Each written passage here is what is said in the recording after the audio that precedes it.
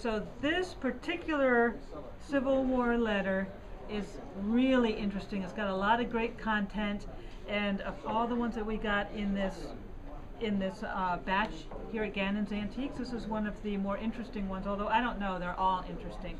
It's really nice to hear uh, the kind of the day-to-day account and what actually happened from somebody who was there. This was written by Colonel Chandler, uh, sorry, not Colonel, Captain Chandler, to his uh, aunt.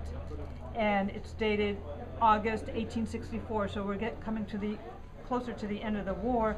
And he's talking about being in, uh, it was in Mobile, Alabama. He's talking about that they ran the blockade. And he talks about how many rebels there were and the arms, and uh, that they that the rebels left in a hurry and blew up the works, and that Admiral I'm not sure. Uh, It's not quite Ferguson. I'd have to really research to find out which admiral was there then.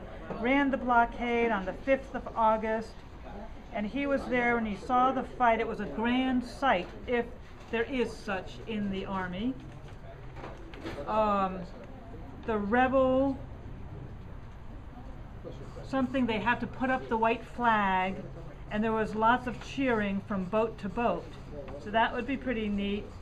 Um, and then and it and it keeps going and then he talks about um, other things and then being the first to land and having a march and having a camp close to the rebels um, but that they don't dare come out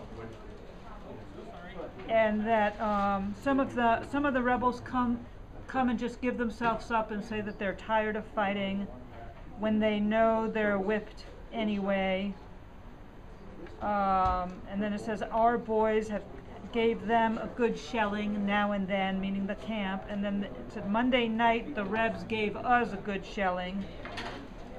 And as luck had it, not a man was hurt. And goes on to talk some more. These are really, really, I think, awesome letters. Oh, I've had a lot of Civil War letters, and most of them are about the weather and maybe a, a line or two about the war. But these are mostly about the war. Uh, uh, and then it also has the envelope that was sent with it. Um, I'll show you more. Subscribe to our YouTube channel, and you can see them. And you can also go to our website, gannonsantiques.com.